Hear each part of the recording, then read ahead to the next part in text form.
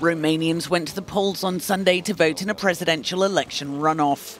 Centrist President Klaus Iohannis is expected to be re elected. He's pledged to restart judicial reforms. His Social Democrat rival is recently ousted Prime Minister Viorica Dăncilă, whom he's expected to easily beat.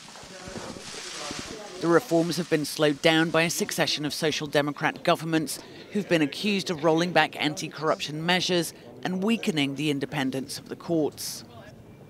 Romania's judicial reforms have been monitored since it joined the EU in 2007. In October, Brussels said these reforms were going backwards.